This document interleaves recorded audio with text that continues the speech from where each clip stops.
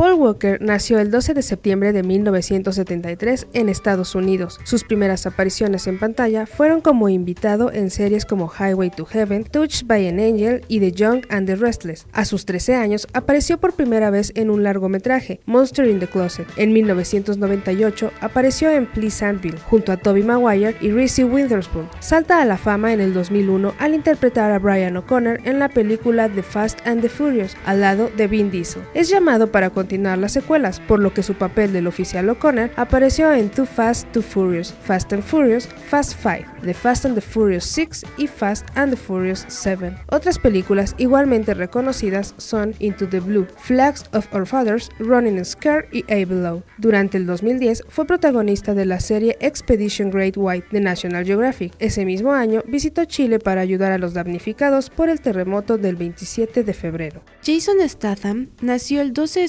septiembre de 1967 en Inglaterra.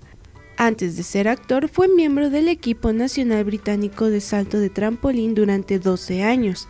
Después, se convirtió en modelo para French Connection. Su primera película fue Lock, Stock and Two Smoking Barrels en 1998. En el 2000, formó parte del reparto de Snatch junto a Brad Pitt y Benicio del Toro.